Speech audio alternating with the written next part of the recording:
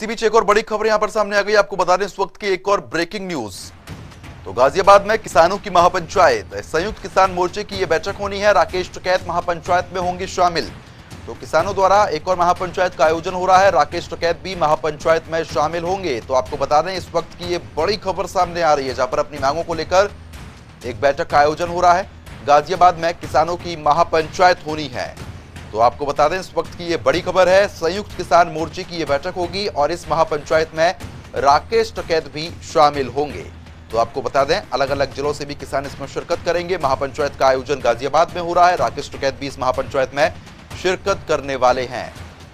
तो आपको बता दें कि आगे का रोड मैप किसान किस तरीके से बना रहे हैं, तमाम मुद्दों को लेकर इस महापंचायत में फैसला लिया जाएगा। राकेश टकैत भी इस महापंचायत में शामिल होंगे।